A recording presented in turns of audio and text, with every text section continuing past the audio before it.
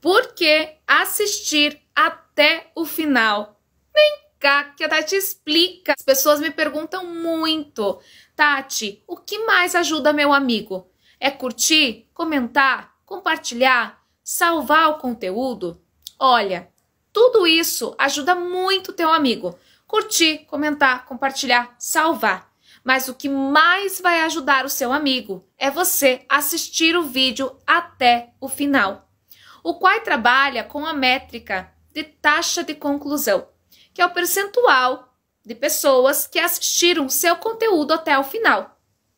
Então, se muitas pessoas, se 40% dessas pessoas que visualizaram o teu conteúdo assistiram o seu vídeo até o final, o qual considera o teu conteúdo um bom conteúdo.